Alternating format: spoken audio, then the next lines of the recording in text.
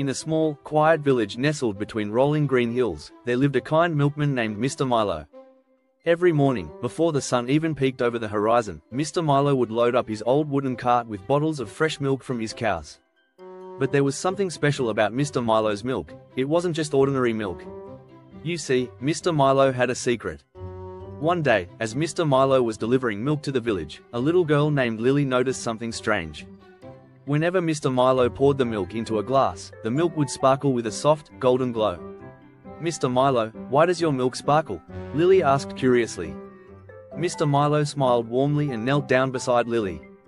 Ah, that's because my cows drink from a magical spring hidden deep in the hills, he whispered.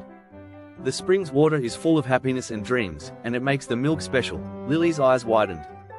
Does that mean if I drink the milk, I'll be happy and have magical dreams too, mister? Milo nodded.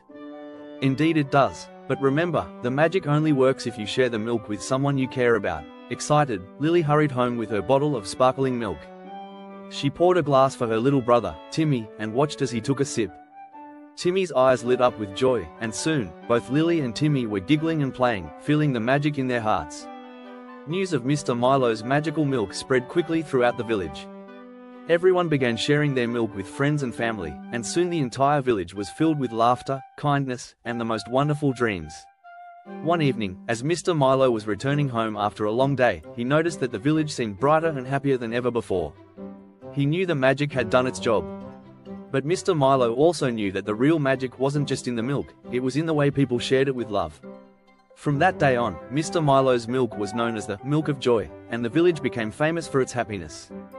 And every morning, as Mr. Milo set out on his rounds, he smiled, knowing that he was spreading more than just milk, he was spreading love and happiness. And so, the village and its people lived happily ever after, always remembering that the greatest magic comes from the joy of sharing with others.